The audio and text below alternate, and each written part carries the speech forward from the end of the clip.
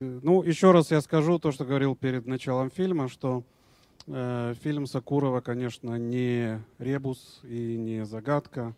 И в этом смысле э, для э, меня, который взял на себя такую функцию разгадывающего ребусов, он э, не дает большой, большого простора, где размахнуться.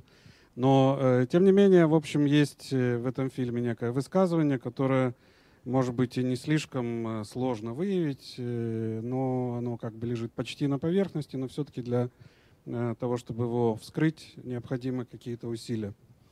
Я попробую это сделать очень быстро, опять же, потому что фильм довольно длинный, а время довольно позднее. Э, ну, э, вы видели в конце, что те из вас, кто не знает, это э, последний фильм из тетралогии.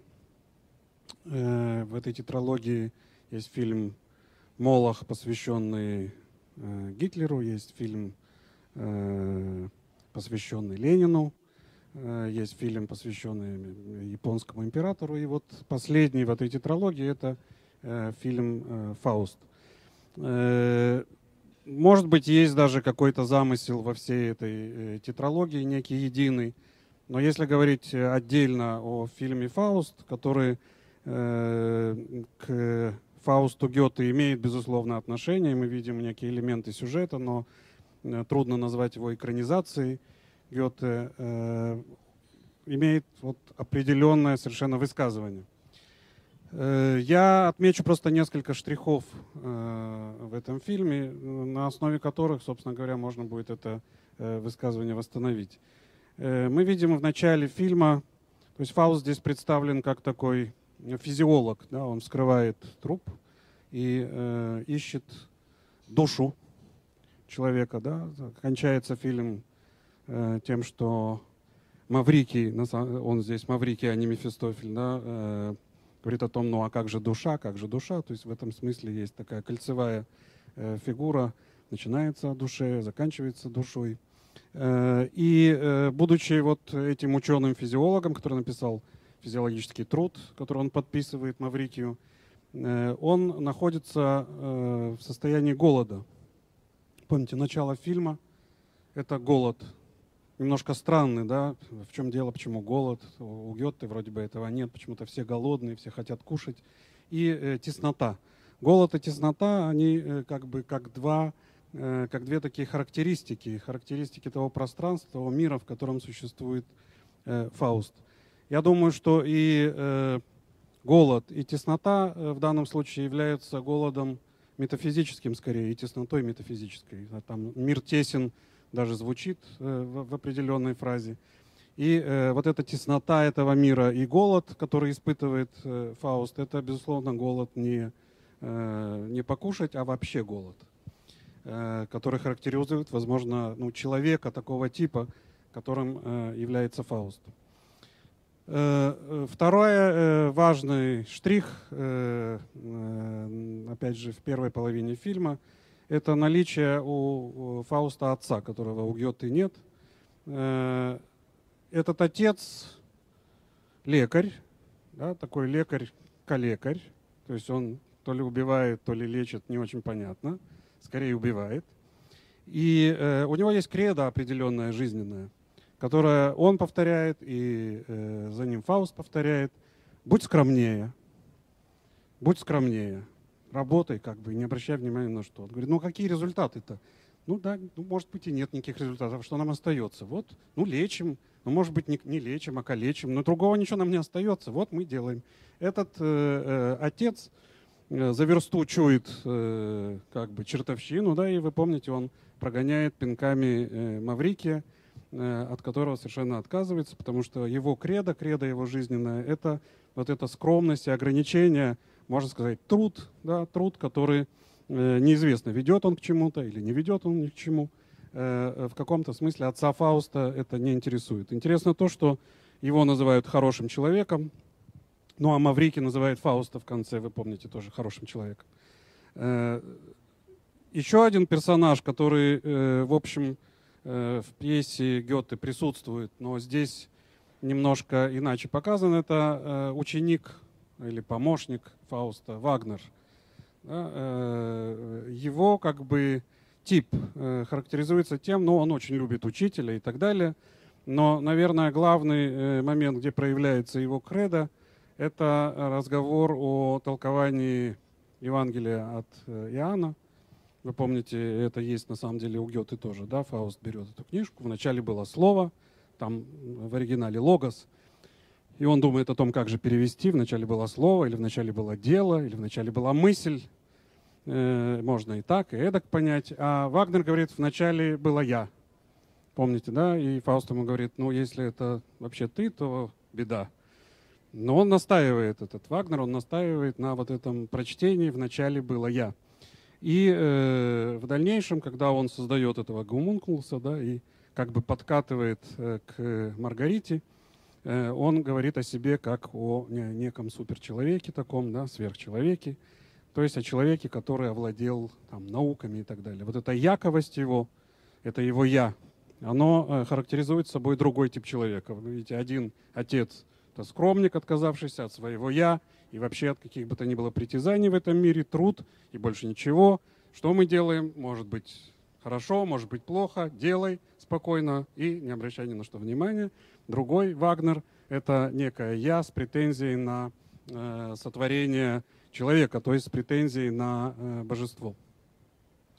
Э, в этом смысле э, Фауст – здесь является э, человеком и не первого, и не второго типа, а третьего типа. Да? Это человек, который испытывает голод, вот этот самый метафизический голод, и который на самом деле доходит до э, предела. Он отказывается и от труда, он отказывается и вот от этого э, великого и величественного «я», от э, э, того, чтобы стать суперчеловеком. Но что-то он ищет – правда, не очень понимает, что. Он готов отдать камень. Помните, кольцо, которое он приносит, это что? Это э, философский камень, с помощью которого можно понять э, смысл жизни. И э, Маврикий ему на это говорит, э, что, ну, в принципе, оно, конечно, может быть и ценно, но оно ничего не стоит, потому что ни жизнь ничего не стоит, ни смерть ничего не стоит. Фауст его спрашивает, а что ж чего-то стоит? Потому что ему нужны как бы деньги, непонятно, что это такое, да, деньги в метафизическом плане, да, то есть некое нечто, он ищет какого-то богатства, какого не знает сам. Э, и э, Маврикий ему на это говорит, ну, время или искусство, вот это может что-то стоит, а э, жизнь или смерть ничего не стоит. И, в общем, все путешествие Фауста с Маврикием – оно постепенно приводит э, как бы ко все большему и большему отказу от всего, что, собственно говоря, э, чем он может овладеть. Да? То есть он идет в итоге, концовка фильма, он идет куда-то дальше, при этом отказавшись от души, там, любви, смерти и так далее. И в том числе и от э, дьявола, Маврикия. То есть это отказ не только от Бога, но и отказ от э, дьявола. То есть на самом деле это человек – который как бы э, потерял какие бы то ни было э, опорные точки, да, то есть нет никаких ориентиров. И вот он устремляется в это самое, э, в эту снежную пустыню, в надежде непонятно на что. Идти дальше. Вот что-то, какое-то, какую-то вселенную, которую он собирается открыть в себе. Этот Маврикий ему говорит, ну да, пока ты жив, ты можешь, конечно, пытаться это сделать. Но э, в итоге вот этот тип человека, я думаю, э, э, мысль Сакурова состоит в том, что тетралогию завершает именно вот этот образ, образ такого типа человека, который, собственно говоря, является, видимо, человеком нашего времени, которого, вообще говоря, ну, уже, в общем, более-менее все по барабану. Нет ни Бога, ни дьявола, там сначала говорится о том, что вы помните, Вагнер говорит, по-моему, да, что э, в беседе с ними он говорит, как ты веришь в Бога или не веришь в Бога. Вот есть, э, он говорит, есть зло. Но если есть зло, значит и есть добро. Он говорит, нет, зло есть, а вот добра нет. Но э, на самом деле зло в себе воплощает э, этот самый Маврики, которого в итоге Фауст забрасывает камнями, и тогда остается как бы без вот этих э, аксиологических ориентиров. Нету ни добра, нету ни зла, нету ни смерти, нету ни любви, ничего. В общем, он остается в некой такой, в таком вакууме, в пустоте. И э, возможно, что э, смысл фильма, а может быть и тетралогии в целом, которая в предыдущих как бы сериях рассказывает нам о разного типа обожествлениях, да, Молох, например, да, это язычество собой представляет там фильм про Гитлера, про Гитлера и так далее. Но это определенного рода этапы пути современного человека в его Э, построении как бы идеологического мира или что-то в этом роде. А Фауст — это э, вот устремленность неизвестно куда, без э, всяких ориентиров, когда э, всякого рода Бог, черт, дьявол, добро, зло и так далее оказываются, в общем, ничем. А остается только этот самый голод. Голод остается, да, как мы помним, потому что Маврикий говорит, кто же тебя накормит здесь, да, в этой пустыне, кто тебя отсюда выведет. То есть ты пришел сюда, потому что тебя сюда гнал вот этот самый метафизический голод. Человек хочет что-то, но что, чего он хочет, это не, не очень понятно. Вот, мне кажется, э, такая мысль э, э, содержится в этом, такое высказывание содержится в этом фильме. И я на этом Василию Корецкому передаю слово. Добрый вечер. А, я буду чуть менее краток. А, и, в принципе, соглашаясь э, со всем, что сказал Ури, я хочу немножко внести все это рассуждение в определенный контекст, связанный с фигурой Сакурова, потому что фигура автора здесь очень важна, поскольку для Сакурова, в принципе, хотя он продолжает снимать и сейчас, этот фильм является в, конечном, в каком-то смысле итоговым да, в фильмографии каждого режиссера большого как бы есть итоговый фильм, который подводит э, как бы чер... чуть ближе, который подводит черту под некой темой, которую режиссер развивает. И для того, чтобы понять э, как бы в нюансах, ну и в общем э, Фауста, нужно немножко вернуться назад, на несколько десятков лет назад и посмотреть, собственно, чем занимался Сакуров и кто, что это вообще за человек. А, дело в том, что Александр Николаевич Сакуров – это последний художник-модернист в наше как бы, постмодерное время. Он э, родился совершенно не в ту эпоху, в которой ему следовало родиться. Ему следовало родиться там, 20-30-е годы и бороться с наступлением прогресса, как бы всячески уничтожая его с помощью искусства, как это делал Малевич. Вот. А, Александр Николаевич э, очень трепетно относится к такому медиа, которым является кинематограф, считая его, так же, как считали в 20-е годы, скажем, Вальтер Беньямин, самым опасным э, и мощным по воздействию как бы, медиумом из имеющихся. Э, Сакуров в одном из интервью сказал, что кинематограф страшнее, что русское кино страшнее атомной бомбы. И, ну, как бы, с одной стороны, это шутка, а с другой стороны, как бы, это его кредо, которым он руководствуется. Например, в фильме вы видели такие моменты, когда изображение пропущено через линзу, деформирующую его. Да?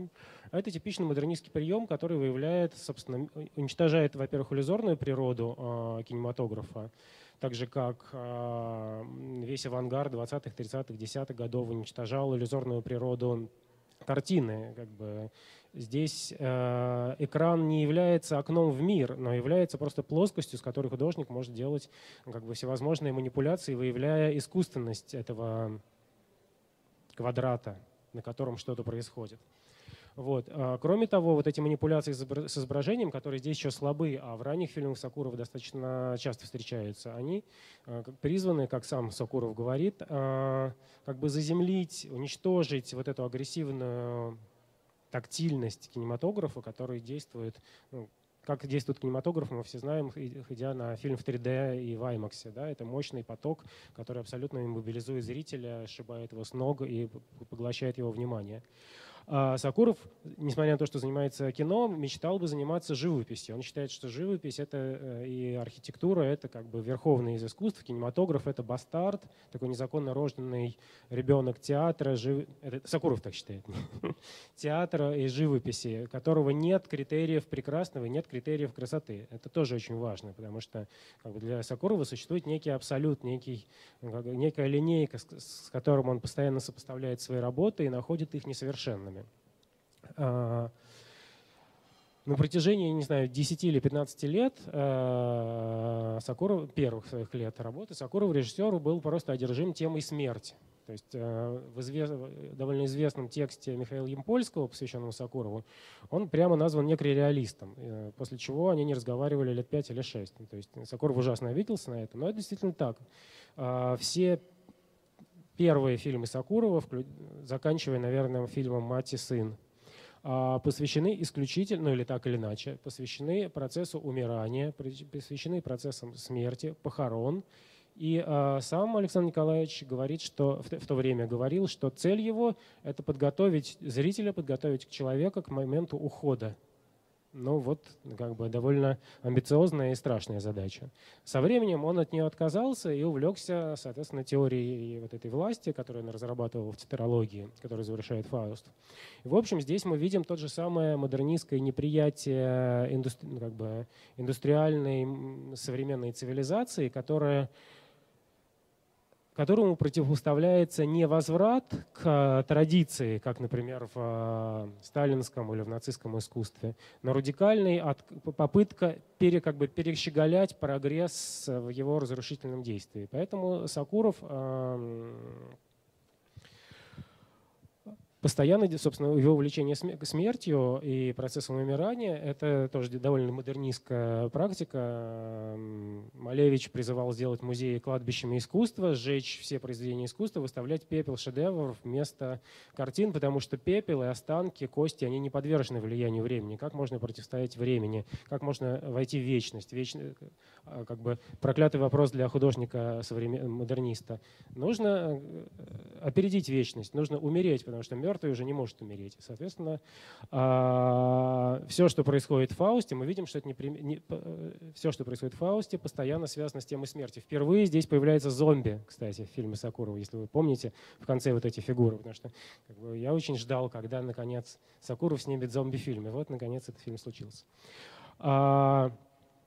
Если говорить уже, собственно, о фактуре э, Фауста э, и связи его с э, поэмой Гёте, то и Сакуров, и Арабов, написавший сценарий фильму, всячески подчеркивают, что это не экранизация Гёте, что это совершенно самостоятельное произведение. Тем не менее, э, естественно, эта трактовка легенды о Фаусте обращается и работает со всеми мотивами, присутствующими в этом сюжете. Потому что я напомню, что кроме народных пьес о Фаусте существует пьеса Марлоу о Фаусте, которая отличается от э, поэмы Гёте. И в, э, у Марлоу э, Мефистофель, который является Фаусту в виде монаха, что тоже очень интересно.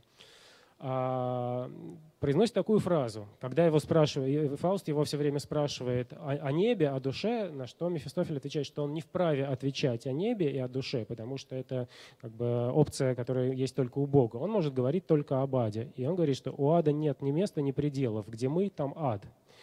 И в, э, поскольку в мире Сакурова, вот в этом модерном мире, который вырос из немецкого романтизма, где на месте Бога находится природа, которую мы видим в финале фильма, да, он как бы поднимается, фактически же, да, он поднимается на небеса. Но это не небеса, это природа, это вот такие картины, как на полотнах Каспара Фридриха, которым Сакуров очень увлечен, такого немецкого романтиста, э, э, который рисовал горы, водопады, возвышенные такие сцены, что-то одновременно ужасное и вдохновляющее.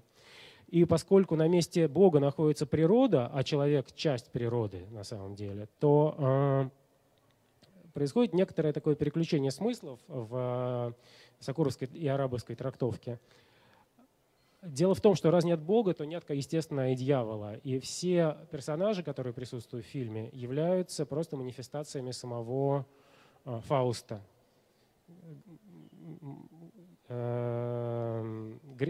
как ее зовут, Гретхен или Маргарита, просто в разных версиях.